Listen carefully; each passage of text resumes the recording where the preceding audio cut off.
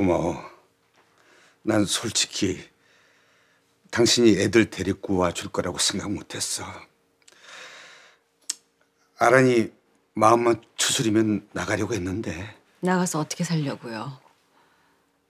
애들 데리고 하루하루 먹고 살 거 걱정하면서 걔들 고생만 시키려고요?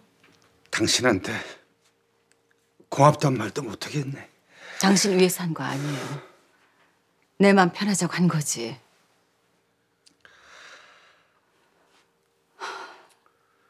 파란이 생각나서 애들 데리고 온 거예요. 나 매일 밤 잠들기 전 파란이 좋은 부모 만나서 행복하게 살아라 기도하면서 지하 그렇게 내버려 두는 건 아니잖아요. 난 가끔 파란이가 아주 가까운 데에 살고 있다는 생각이 들어.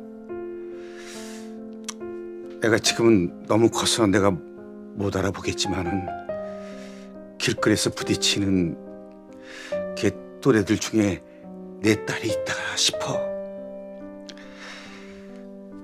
파란이 지금 어디 살든 아주 예쁘게 착하게 잘 살고 있을 거야. 당신 애들 잘 봐요.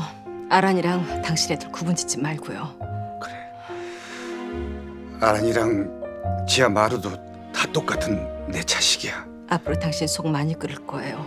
그거 당신이 다 저지른 죄값이라 생각해요.